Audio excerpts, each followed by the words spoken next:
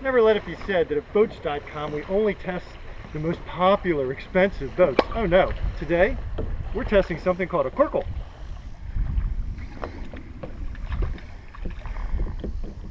All right, look out, here I go. Ah!